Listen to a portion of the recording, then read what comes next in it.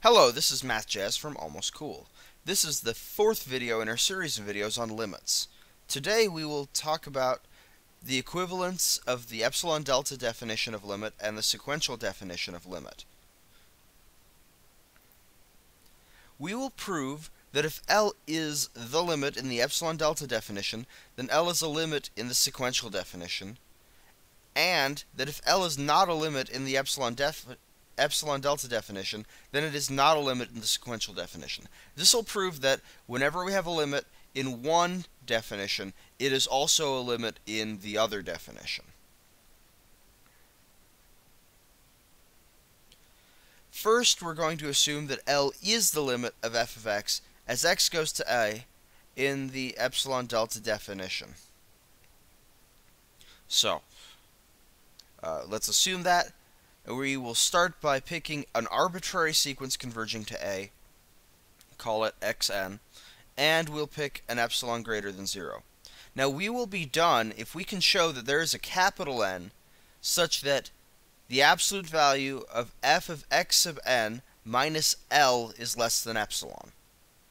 If we can show that using this arbitrary sequence and this arbitrary epsilon, then we've proved that every sequence that converges to A, f of that sequence converges to L. That's the goal. So, um, the next thing we do is we pick a delta such that if 0 is less than the absolute value of x minus a is less than delta, then the absolute value of f of x minus L is less than epsilon and then we'll plug in x sub n for x. Because, uh, you know, the delta will work for all x's that are within a distance of delta from a, but we only care about the x's that are going to be elements of our sequence. So we'll substitute x sub n in for x in our in our uh, equations. Now, since x sub n converges to a, we know that for every positive number, and delta is a positive number, that there exists a capital N such that if little n is bigger than capital N, then the absolute value of x sub n minus a is less than that positive number. So we pick the capital N that goes with delta. And now, what that means is that if little n is bigger than capital N, then we know that the absolute value of x sub n minus a is less than delta. But if the absolute value of xn minus a is less than delta, that means the absolute value of f of xn minus L is less than epsilon. So we found for any epsilon and any sequence converging to A, f of that sequence converges to, or we found an n such that f of x sub n minus L is less than epsilon. So that's the definition of, of f of x sub n converging to L. So any sequence converging to A, f of that sequence converges to L. And that is the definition of sequential limit. So we've just proved that the epsilon delta limit implies the sequential limit.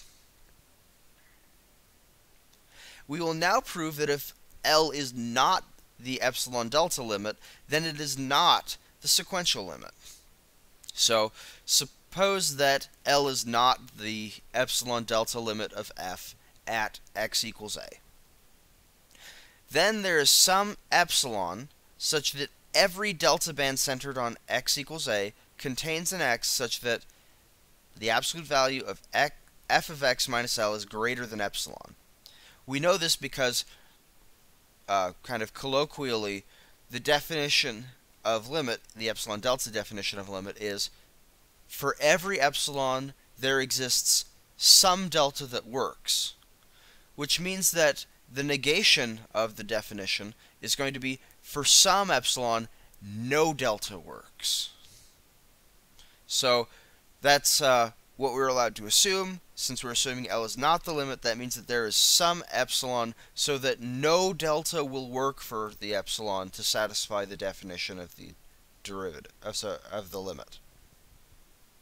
So we pick that epsilon, and we know that every delta will not work. That is, every delta, there'll be some point that f of x is too far away from L. So, we pick a sequence of points. Let the nth element in the sequence be an x value in the delta bed delta equals 1 over n. And we pick that point so that the absolute value of f of x minus L is greater than epsilon. There's a typo in that slide. Um, that second L should be an epsilon. Now what this means is that uh, we know x sub n converges to A because um, x sub n is going to be less than 1 over n away from A and since n gets larger, 1 over n gets smaller, and so this sequence will converge to A. Now, if L were the sequential limit, then that would mean that f of x sub n has to converge to L. But we know that f of x sub n is going to be further than epsilon away from L for every n, because that's how we built our sequence which means that f of x sub n cannot converge to L because all of the points of f of x sub n, all of those sequential points, are going to be too far away from L. They're going to be more than epsilon away from L. So L is not the limit uh, of f of x sub n, which means that L is not the limit of the sequence. Uh, sorry, f is not the limit of the function. Thank you for watching this video. Contact information is on the screen. Feel free to contact me uh, for any reason. And uh, I hope that you're enjoying learning calculus. Have a great day. Goodbye.